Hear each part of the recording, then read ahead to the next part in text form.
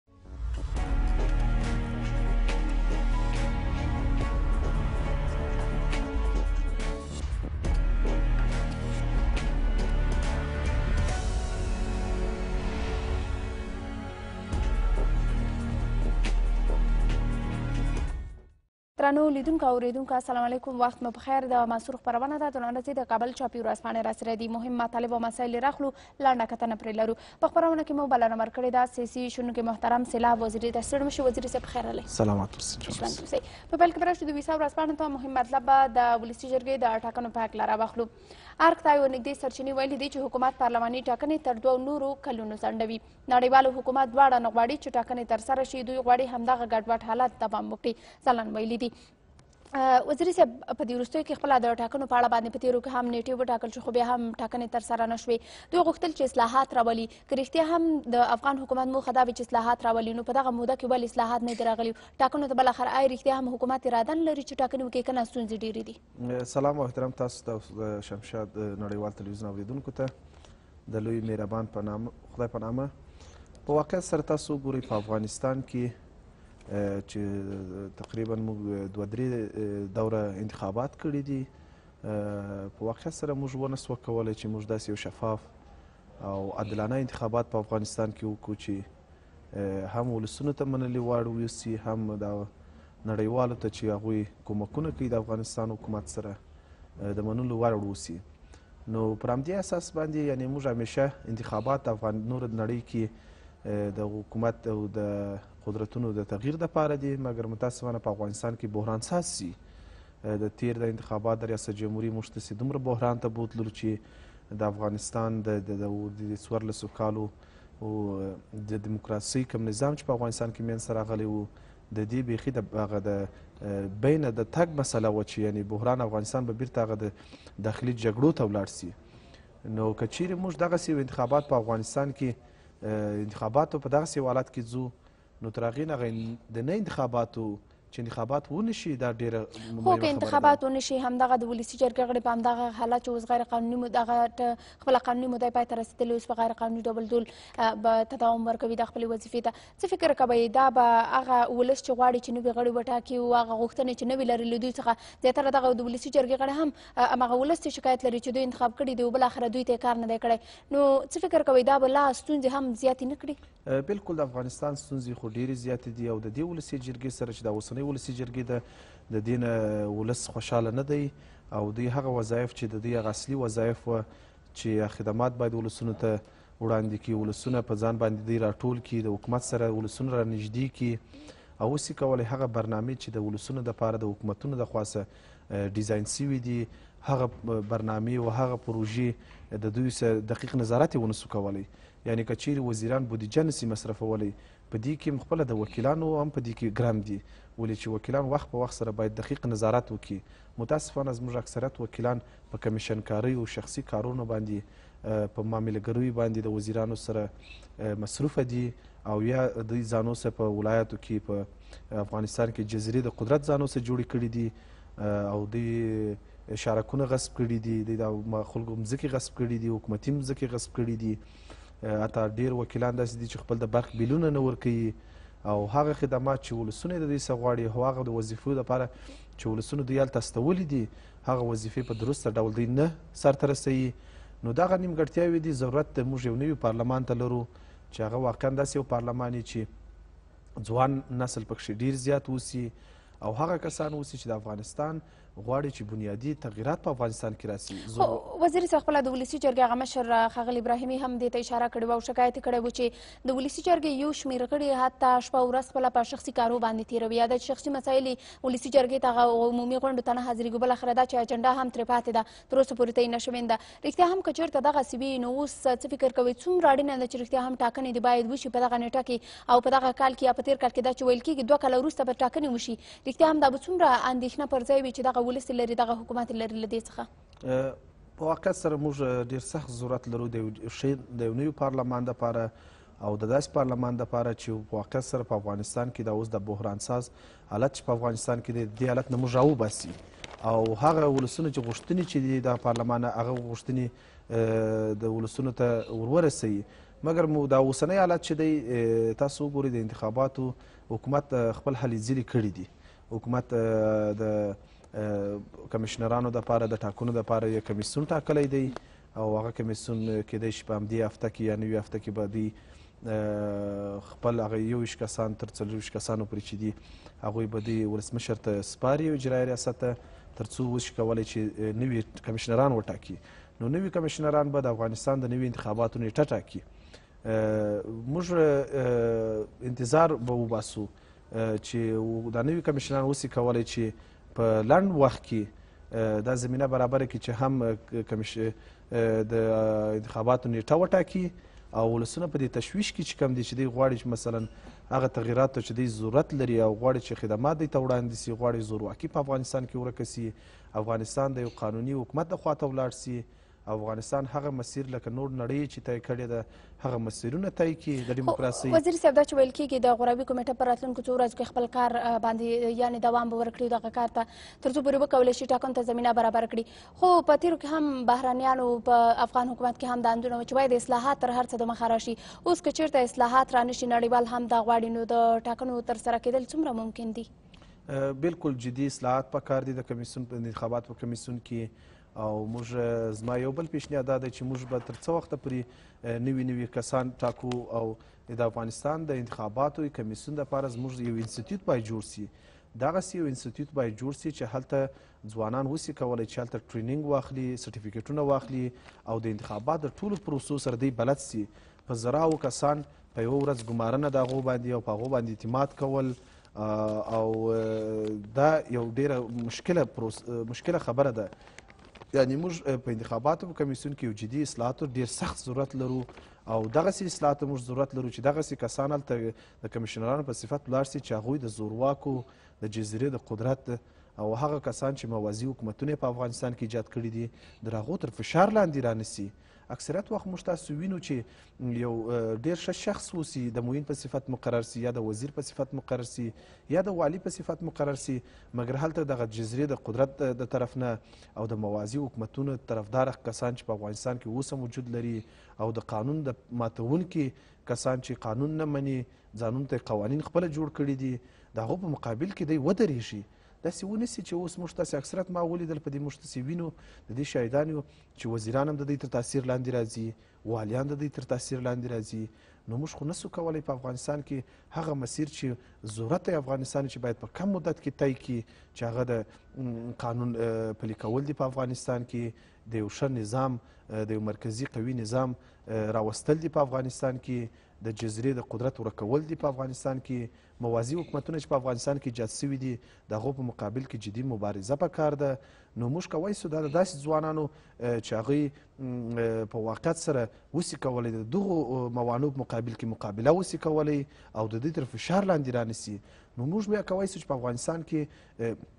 د یو ښه انتخاباتو خواته ولاړ شو خو وزیري صاحب ویل کېږي چې خپله پر حکومت باندې هغه قانوني لارې چې د اصلاحاتو لپاره یې درلودلې هغه ټول لارې په دوی باندې شوي اوس غواړي له غیر قانوني لارې اصلاحات راولي په ټاکنیزو چې ټاکنې تر څو ترسره شي هغې ته د اصلاحاتو لپاره زمینه برابره شي رښتیا هم اوس حکومت آیا زمینه دې ته مساعده ده په افغانستان کې چې اصلاحات راشي له هغې وروسته ټاکنې وشي که نه حکومت به په غیر قانوني ډول رښتیا هم اصلاحاتو ته مخه کړي اصلاحاتو ته په هر وخت شرایط اماده دي مهم دا ده زموږ په اراده پرې مهمه ده چې موږ جدي اراده ولرو د اصلاحات د راوستلو لپاره او موږ هغه کسان د په نظام کې شامل کو هغه کسان چې هغوی بیرته نورو کسانو ته زمینه د راوستلو برابره کړي داسې نسی کېدلی ما مخکې د دې مسلې ته اشاره وکړه که موږ یو سړی راولو چې دا ډېر ښه سړی دی مګر متاسفانه هغه تر د قانون ماتونکو او د جزیرې د قدرتو د دوه خلکو تر فشار لاندې راسي نو هغه په خپل اداره کې بیا اصلاح ته هم نسي راوستلی نو اړینه دا ده چې موږ دغسې ځوانان دغسې کسان نظام ته په سیستم کې ځای په ځای کو چې هغوی د فشار نه مني او صرف قانون ته ژمن دی او غواړي په افغانستان کې قانون تطبیق سي نو موږ د دغسې کسانو په وجود کې کولی سو چې افغانستان کې اصلاحات راولو خو وزیري صاحب اوس ویل کېږي چې دغه ټاکنې به د بهرنیانو په همغږۍ او ملاتړ ترسره شي که رښتیا هم چېرته دغسې وشي نو څومره تضمین د دې کېدلی چې رښتیا هم دغه ټاکنې د شفافې وي په افغانستان کې داسې نه ده چې موږ تاسو داسې فکر وکړو چې په افغانستان کې په ځینې خلکو داسې فکر ایجاد شوی دی چې بهرنیان ټول یا فاسد دي یا غواړي په افغانستان کې مشکلات ایجاد کړي دغه سینه ده په افغانستان کې موږ تاسو د زموږ نړیوال دوستان کې ډیر ښه خلک سته او غواړي په واقعیت سره چې انسان دوستی باندې عقیده لري په دیموکراسي عقیده لري په افغانستان کې د یو ښه نظام طرفدار خلک دي موږ کوای شو چې هغه خارجانو سره هغه دوستانو سره چې غواړي په افغانستان کې په واقعیت سره قانون تطبیق سي په افغانستان کې اصلاحات راسي په افغانستان کې هغو کسانو ته زمینه د کار برابر سي چې دې خاورې ته دې ولسونو ته ژمن خلک اوسي نو موږ کولی شو د هغو استفاده وکړو د هغوی د امارتونو استفاده وکړو د هغوی د نړیوالو روابطو نه استفاده وکړو دا ډیره ښه خبره ده مګر هغه کسان چې خارجیان چې په فساد کې لاس لري او هغوی یوازې د افغانستان ته د پیسو ګټلو لپاره راځي موږ باید هغه تشخیص کړو او هغه ته زمينه برابر نه کو چې هغه زموږ په هغه پروسو کې چې زموږ ملي پروسې دي خصوصا لکه انتخابات لکه نور داسې پروسې ملي پروسې چې موږ لرو په هغوی کې د لاسوهنه وکړي نو ښه خبره به دا چې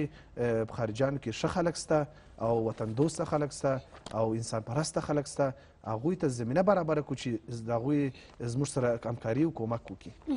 مننه رب شو د سرنوشت ورځپاڼې بل مهم مطلب ته ولسي جرګه اتلس وزیران استیضا کوي راتلونکې اونۍ ولسي جرګه د کابینې هغه اتلس وزیران استیضا کوي چې په دیارلس سوه څلور نویم کال کې له اویا سلنې کمه بودیجه لګولې ده وزیري صاحب کرا شو دې برخې ته دا چې که چېرته رښتیا هم وزیران استیضا شي د ولسي جرګې لوري څه فکر کوئ آیا دغه اوسنۍ ستونزې چې په افغانستان کې مونږ یې تجربه کوو دا بلا هم زیاتې شي او کنه دوی ته به د پای ټکی کېښودل شي دا ډیره ښه خبره ده چې موږ د افغانستان د قوانینو پر تطبیقولو کې جدي قدمونه واخلو زه د دې طرفدار یم چې کوم وزیران ونه سوه کولی دا توانه یې نه درلودله چې دوی خپل بودیجې مصرف کړي او دوی هغه اصلاحات په خپلو ادارو کې راولي چې ولسونه د دوی نه غوښتنه غواړي دا وزیران باید استعزا سي د دوی څخه جدي پوښتنې وسي او تر څو پورې چې نور کسان چې غواړي په وزارت ته د پیسو په زور ولاړ سي یا د قدرت په زور باندې د دې محلي قدرتو په زور باندې غواړي وزیر سي هغوی به هم د ترس و لرس کې اوسي چې که چیرې زه ونه سم کولی چې هلته خدمات وړاندې کړم زه په وزارت کې یو داسې فضا رامنځته کړم چې ټول د وزیر سره همکاري وکړي دا اوس اکثریت وزیران داسې دي چې دوی کله چې وزارت ته رسیږي هلته دوی داسې فکر کوي چې دا زما شخصي ملکیت دی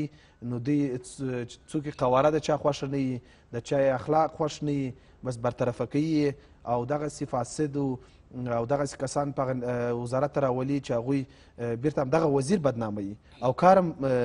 نتیجه هم نه ورکوي او هغه خدمات چې ولسونه ولسونه غواړي دغه وزارت څخه خدمات هم هلته نه وړاندې کیږي خو وزیر صاحب په ټولو کې ستونزه چیرته ده آیا دوی یو جامع پلان نه لري دې لپاره چې بودیجه مصرف کړي یا په دغه وزارتونو کې ستونزې ډېرې دي دا چې تاسو یادونه وکړه چې شخصي ډلې هلته راغلي دي بالاخره دوی سره یا ملاتړ لري یا هم د شخصي روابطو پر اساس راغلي دي ستونزې ورته جوړوي بالاخره مشخص لامل کوم دی چې دوی نه دي په دې توانېدلي چې دغه بودیجه چې ورته ټاکل شوې دوی مصرف کړي زه د دې اساسي مشکل دا وینم چې موږ په لیاقت په شایستګي او د شخصیت په اساس باندې وزارتونو ته خلک نه نوماندېږي دلته د شخصي روابط په اساس باندې وزیران نوماندېږي نو اساسي مشکل هم همدغه دی که چیرې موږ شخصیت ته لیاقت ته او دغه مسایلو ته ترجیح ورکو وطن پرستی ته ترجیح ورکو او او دغه کسان ته ترجیح ورکو چې هغه د جزرې د قدرت د زورواکو او د قانون شکونکو تر فشار لاندې رانسي نو دغسې کسان که موږ وزارتو ته نوماندان ورکو او د دوی لپاره د پارلمان سره رایه واخلو نو زه په دې عقیده یم چې موږ په هغه وزارت کې هم اصلاحات راوستی سو هم قانون تطبیقوی سو هم خدمات وړاندې کوی سو هم د یو ټیم په صفت باندې په وزارت کې کار کولی سو ولسونه پر ځان باندې راټولوي سو نو دغه دغه سي یو شخص دغه سي اشخاص که موږ تشخیص کو او دغه اشخاص وزیران سي د د دې ډیر کامیاب وسی مګر اوسنۍ حالت چې دی دا اوسنۍ حالت د فشار حالت دی د زورواکۍ حالت دی او د تعهد د شخصیت مسله نه ده مطرح نو پر همدې اساس دی چې بودیجه هم نه مصرفیږي او ټیم ورک چې ډیر ضرور دی په اداره کې ټیم ورک هم په اداره کې نه ایجادیږي نو ستونزې به طبعا ولسونه ګالي مشکلات به ولسونه وړي او دوی به امغه صرف امغه خپل امتیازات چې دي امغه ته بناسي خوشاله وي خو وزیر صاحب ولسی جرګه په داسې حال کې وزیران استیزا کوي چې دوی خپل 15 سلنه بودیجه مصرف کړی دا اوس کوم ارګان به وي چې خپل ولسی جرګه له غړو نه یا د مشر نه پښتنه وکړي چې ولی دغه مرکمه بودیجه دوی مصرف کړي ولسی جرګه په دې کې باید ځان ګرم وبولي هغه کسان چې په ولسی جرګې کې د بودیجې د مصرف باندې د دوی مسولیت دی هغه کسان هم باید دوی د دندې سره ګوښه کړي تر څو پورې چې په واقعیت سره ولسونه په دې پوه سي چې ولسي جرګه هم غواړي په افغانستان کې شفافیت رامنځته سي او په افغانستان کې شخصیت سازي رامنځته سي په افغانستان کې یو سیستم رامنځته سي دا به د ولسي جرګې لپاره یعنی یو ښه خبره اوسي که چیرې ولسی جرګه